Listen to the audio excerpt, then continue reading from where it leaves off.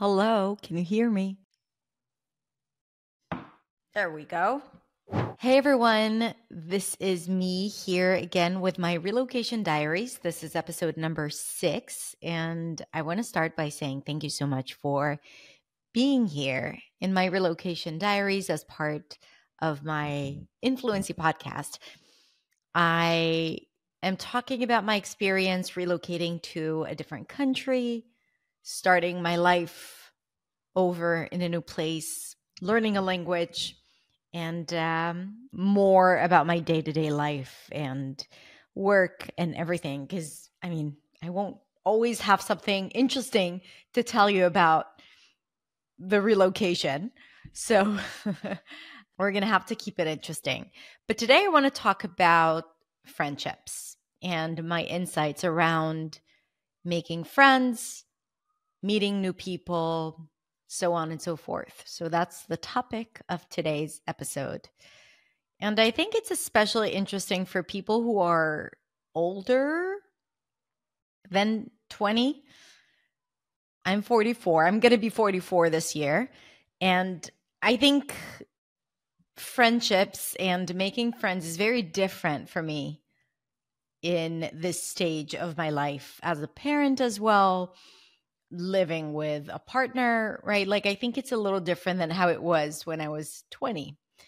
So, I think that if you are around my age, some of the things that I might share might be relevant for you as well, even if you're not relocating.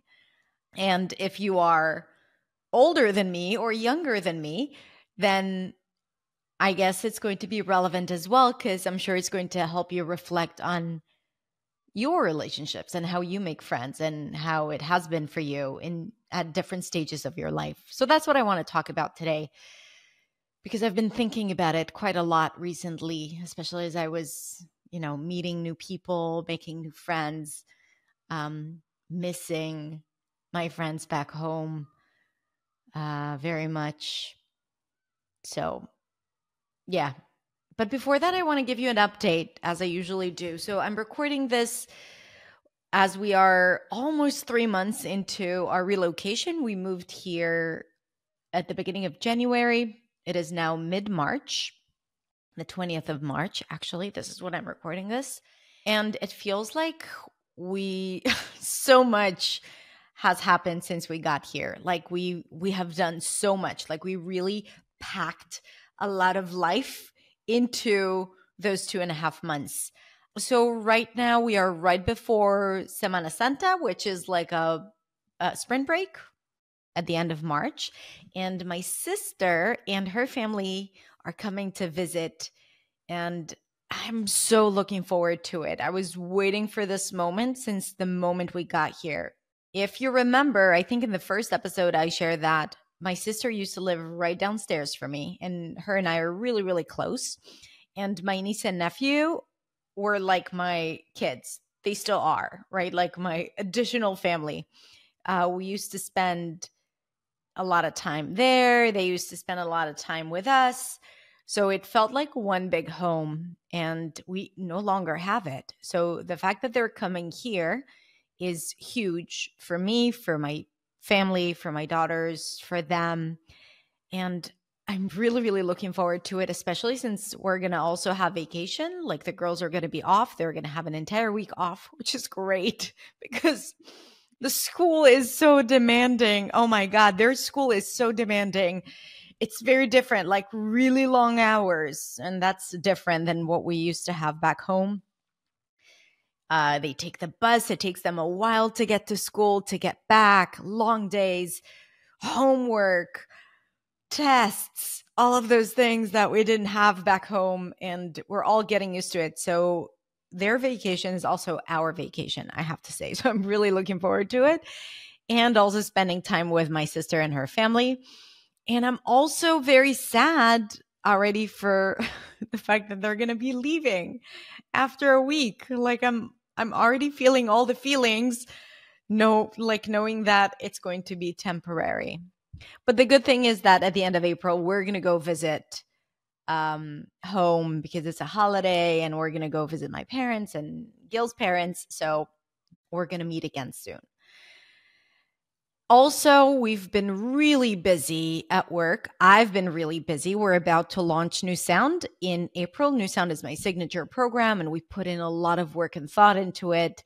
Uh, we open doors twice a year, and before we open doors, we either create a big, big event or run webinars and there's a lot of work in the background. I prepare the webinars and I work on the emails that I'm going to send you telling you about my program. And there's like so much that is happening. And I try to work in a really, really focused way so that I could have the week off next week. But it's been really stressful, which is funny because if today I want to talk about making friendships, like you need time for it. And I felt like, especially recently over the last two, three weeks, where I've been really, really busy, I feel like it it's clashing with my desire or need to meet new people and spend spend time with people. Um, but anyway, I'm going to talk about that soon. So that is has been happening as well. Uh, so we're trying to balance it all. In terms of my apartment, it's still not ready. I still need a lot of furniture and stuff. It's a big apartment because we got an apartment with an extra room for guests and it was completely empty. So we needed everything. But then I realized that it's not just like the couch and the dining table and the desk. It's like all the small things, all the photos and the pictures and the flowers on the wall and the things that you collect along the years and you put them, you stick them in different corners of the house. And we don't have any of that. Like we brought some stuff with us, but not a lot because we also got rid of a lot of things that we thought that we didn't need. But these were all memories and they filled up our house. And now the house is really empty. And um, it's not as empty. I'm now feels like I'm exaggerating because we did get a lot of stuff uh, but it's draining and it's also like organizing and coordinating and, and purchasing and, and looking for things. Um, so that is very, very energy consuming. Just so you know, if you're planning a relocation, then settling in in your home takes up a lot of time and energy. So be prepared for it. Um, so that's it. That's my update. All right, let's talk about friendships. So I noticed that I'm not the type of person who makes friends really easily. Because, first of all, I don't, I have a digital business. So it's not like I go to work and then I meet friends and colleagues, right? So I work online. Um, my friends, the new people I meet online are either my team members who are friends and are a part of my life and my family, but it's online. It's not like a friend that you see regularly. And um, I think that it's harder to make friends as you grow up as an adult because you don't have like changing circles. So you have your neighborhood, but that's not like I don't have a lot of interactions with people in my neighborhood. I'm I'm speaking about how it was when I was back home. So when I think about it, like some of the closest friends that I have until today, I met in my 20s and I met them either in high school, and I'm still friends with my high school, with some of my high school friends, really, really close friends, best friends. And then friends that I met when working in restaurants in my 20s. And they are family already. Our families are friends. We are friends. We speak regularly. We meet when well when i used to live there we used to meet regularly you know even if it's once a month or once every two months. Like when they call it's like i'm there for them. When i call they are there for me. These are soulmates that i have. I have four very very very close friends who have been with me for 20 25 years.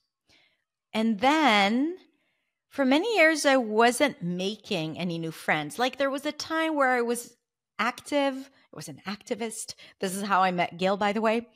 That was back in 2011. And then I had like a big group of friends, a lot of new friends, but it felt like they were there for just a little bit for the time that I was like active. I was being an activist. Um, and then kind of like all the relationships faded out. And I kept my four close friends. And then for many years, I wasn't making any new friends. So I had Gil and I had my family who's really close to me. I had my girls. And then when you have young kids, then you don't make a lot of friends. Uh, usually, at least not me, because I was both like starting a business and learning how to be a mother, uh, which was pretty demanding. Um, so it's kind of like no time for anyone else except for the friends that I already have and me, myself, and my family. And then as my daughters grew up, we started like meeting people around their friends circles, right? So parents of their friends. So every time like if it, they were in one kindergarten, we would become friends with some of the parents and then that would disappear and then with other parents uh, but then when they went to school, there was a group that formed around the friends of uh, Asia, my younger daughter. So we were a group of uh, four families. And we became really, really, really close friends, which was amazing. So that was like a new group of friends that was created that became really close to me and to my family and we hung out together and we traveled together so that was really good so i had my friends from 20 years ago and I had my new friends from the school community and it was really great. I felt very full. I felt like I, you know, if I need a one-on-one talk, I will have this friend. If I need help with something, I would have another friend. If I need to hang out with a family, it would be, you know, that group of friends. So it was kind of like for every situation, I had the perfect connection, the perfect relationship. We were fostering these relationships. Um, I was working at maintaining them. And of course, at times especially with me i like i had to teach myself how to do it because for many years i would get really busy at work especially before i had a team and um, I would forget to call my friends or to check up on them or to respond to them. And they got angry with me, like frustrated. Whether they would say that or not, like I would, then I would like catch myself and be like, oh my God, I haven't responded to her messages, or oh my God, I haven't called her in so long. And I had to remind myself that even though sometimes we do take for granted our old friendships, we can't take them for granted. And we always have to work at fostering it and maintaining it and investing in each other. And I think I learned to do that and I, I became better at it. Because sometimes when you're like chasing your tail during, you know, busy periods of your life, um, it's easy to forget uh, to spend time with friends or to make time for friends. But when you do, it makes total sense. It completely balances you out. And and I, I've learned that I think the hard way. And I'm happy about learning how to make space for friends, even when I'm really, really busy. And sometimes I'm really busy and I'm like, listen, I don't have time. I don't have capacity. I love you. I miss you. Let's meet when I'm done and vice versa. Sometimes they would not have time or capacity and I'm I I'm like the first to understand that as long as we communicate it. And then I moved here and it really changed things up because all of a sudden we don't have the the face-to-face interaction. And I'm not the type of person who likes to speak on the phone and I also don't like to text much which makes it harder to be in a long distance relationship with your friends. Um, so it's something that I need to teach myself how to do properly, and I'm not good at it. Like, this is pretty bad. Also, my friends are also busy and they don't love speaking on the phone, which feels like, okay, we need to find a system to maintain this friendship, even though we are distant and that is something that I'm discovering now. It hasn't been that long. It's been like two and a half months. And sometimes we would go two, three, even four months without seeing each other. So it's not new. So I feel like I need to get more comfortable with being on the phone or maybe doing more intentional Zoom calls to understand how to keep that relationship without meeting. So, as I'm trying to maintain and understand how I switch my relationships from in person to online, I know how to do it with a business, but not yet with friendships. Um, I'm also learning to open myself up to new friendships. And I feel like that I'm being very open and curious, which is something I'm impressed by. I'm impressed by my openness because again, like I'm the type of person who's very protective of her time. So I would be like, I'm working and then I'm with my family and then I'm with my friends and I don't have a lot of extra time. And here I'm like, no, Hadar, this is a new adventure. This is a new opportunity, space, and you have to open yourself up for new things and new people. And I'm genuinely excited about it. Like, I'm genuinely curious about the people who live here and I want to make a lot of new friends. And as an introvert who prefers to be on her own, this is a surprising experience for me. Like before, I would not go out at all. And here, every time a friend or someone says, Hey, Hadar, this is happening, I'm like, I'm in, let's do it. You know, also because I don't have a lot of life outside of home and office, which is right now the same space. so it's like, let's go out. Yes, of course, let's do it. Um, so apart from one friend who lives here and I've known her for also 20 years and it's so nice to connect with her and to learn how to be friends when we live in the same place. Um, I'm meeting a lot of new friends. Now, right now all of these new people that I'm meeting are from the community. They are also from Israel. So it's easier for me to do that. We speak the same language. Um, I still haven't exposed myself or found an international or local community where I could meet new people. I have plans on how to do it. I'm going to study Spanish in a school, a physical school, so I can meet more people. And I want to interact with business owners here in Barcelona and in Spain. So that is definitely my aim. Not right now because I'm so, so busy before New Sound opens, but maybe in May. But within this community, I feel like I'm I'm I'm a lot more open and I'm really curious, which is a part of really getting myself out of like my mission to get myself out of my comfort zone and do things differently because I used to not do that. I used to say no to anything that is not home, friends, work, family, you know, travel. That's it. So remember that I said, like, I think when we do big things like this, like relocating to a, different country, then we need to see what are the patterns that we want to maintain and what are the patterns that we want to break because it's easier to do it when we make big changes. Because when we live our lives and then we try to break patterns i think it's harder.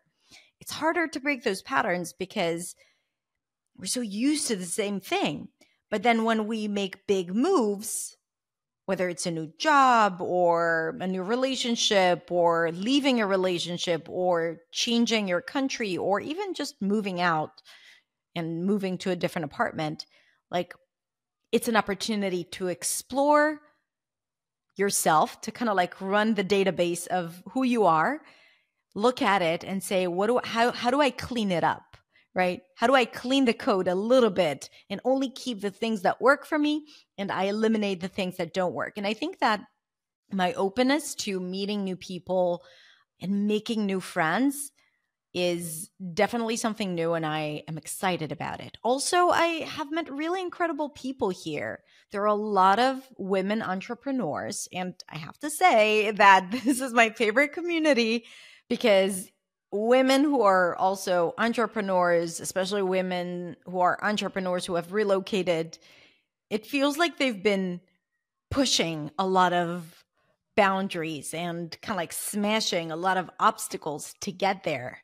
Um, and I appreciate that. So I've met a lot of incredible women entrepreneurs and just people who have relocated. Again, it's the same thing. Like it's a shared experience that connects us.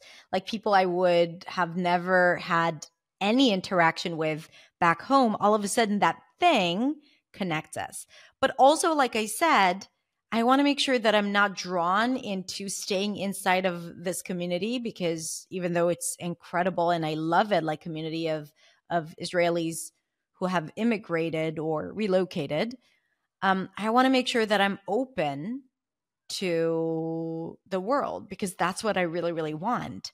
And I'm excited about that. I'm excited about meeting international people, international entrepreneurs. Um, I'm excited about meeting my students here. I'm really excited about the opportunity of speaking in Spanish to my neighbors. Let me explain. Like, I have this vision that once I get, I become more confident in Spanish, and by confident, I mean once I'm able to have a very, very decent basic small talk, I was like, I want to get to know my neighbors.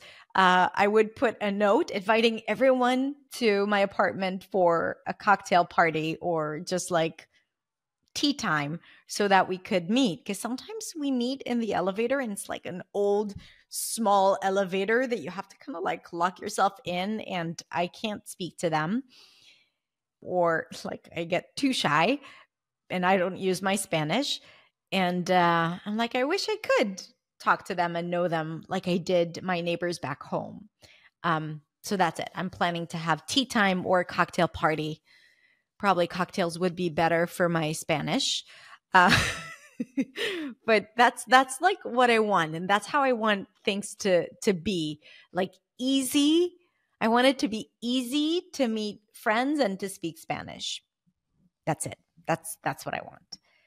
Trying new things, trying new things. Anyway, that's what I had to say about friendships and how um, making friends is such a huge, big, important skill that sometimes we forget how to develop when we get comfortable with the friends that we have. And it's good to test it out because it teaches you a lot about yourself. And what I also wanted to say is that it makes me think about who are the people I want to have around me and how do I want to show up in front of them, right? Like, am I changing something about myself when I'm with them? Because right now I'm a lot more conscious about how I want to feel and how I want to show up. And if I feel that I'm shifting a little bit to please others or to adjust to their rhythm, that's a big no no to me, right? And I used to be a lot more flexible with that. Like I, w- I used to adapt a lot more easily when I was younger. Um, and now I'm like, no, it has to feel right. It has, to, I have to feel comfortable with myself. I need to feel like I'm not trying to keep up or to please or to entertain someone. And when meeting new people, like you ask yourself these questions because you usually don't ask it when you have the group of people that you're familiar with. It's also interesting for me to look at my girls and see how they do that because for them, it's a lot harder. They're in school, they have like dozens, if not hundreds, of new faces well, I'm exaggerating. These are small classes and they're not making friends with the entire school. But still, like they are working hard at making friends and even making friends in another language. And also making sure that they are comfortable with who they are. One of my girls said, You know, I miss home so much because my friends back home just knew me and I knew them. And if we had any issues, we would get past it really easily. And now it's so hard. And I looked at her and I said, like, I know, baby, I know, but this is what you're learning now how to get past it easily, you know, and it's something that you will need to learn because the friends that you had back home have been with you since you were in kindergarten for many years, for five years. You've known them, they're like family. But feeling uncomfortable with someone new and learning how to stay yourself and still be comfortable with them and find your place in a group is probably one of the most important skills that we can develop as individuals. And if there's something I'm happy about, the challenges that my girls face, because one of them is struggling a bit more than the other. And every now and then I'm like, ah, what have I done? What have I done? They're not going to forget it. They're going to remember this all their lives. They're going to say I ruined their lives. Um, I'm kidding. They won't, but well, maybe they will. Can't control it anymore. I did it. Uh, but what I'm trying to say is that even though they might think it's a challenging experience, they are learning so much from this struggle, from learning how to find their place in a new group and staying aligned with their values, which is also something that they're learning with like in different experiences, knowing what their values are. Because when you are with someone for so long, you develop the same values. And then all of a sudden, you don't realize that you might have other people who might have different values than yours. And then it's a question what do you do? You know? And I think that they are dealing with that. And I'm, even though it's hard, I'm so happy for them because they're going to grow up to be stronger, more resilient women who know what they want and know how to make friends and how to read the room.